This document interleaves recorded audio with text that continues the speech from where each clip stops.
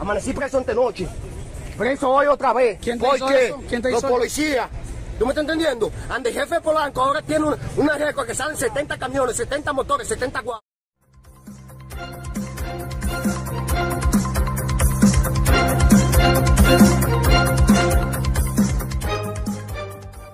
Hola, ¿qué tal amigos de YouTube? Bienvenidos a un nuevo vídeo. Te invito a que te suscribas y active la campanita de notificaciones para que te dé cuenta de lo que está pasando en el país y el mundo. Información de último minuto. Las redes sociales ha surgido un vídeo impactante en el que un delincuente hace una denuncia contra el coronel Polanco, comandante en el centro de Santiago, y el coronel de la Cruz, conocido como tanque de guerra. El vídeo muestra al joven delincuente exhibiendo heridas y afirmando que ha sido detenido sin motivo en más de siete ocasiones en tan solo una semana. La denuncia generó gran sorpresa debido a las contundentes declaraciones y las evidencias visuales presentadas.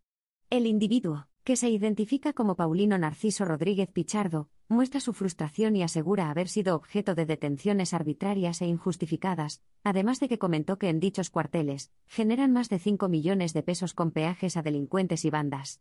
Sin embargo, posteriormente se difundió otro vídeo, en el que se muestra al hombre ya detenido y esposado, pidiendo disculpas a ambos coroneles.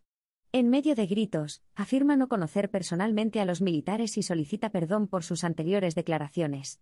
Por otro lado, la mañana de este martes 13 se produjo un trágico accidente en la autopista Duarte, en dirección de Santiago a Santo Domingo, involucrando a dos camiones y dejando tres heridos y una persona fallecida.